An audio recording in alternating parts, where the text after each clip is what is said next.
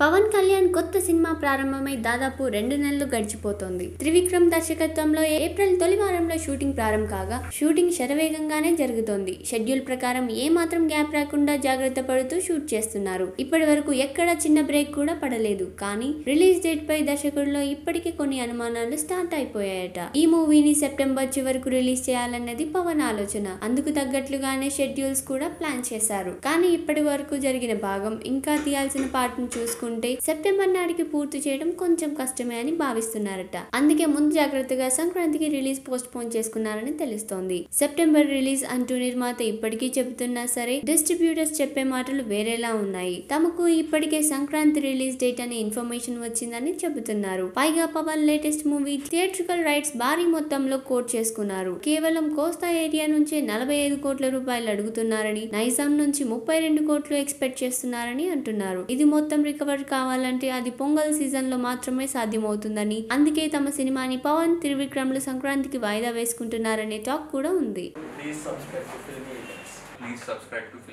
please to filmy events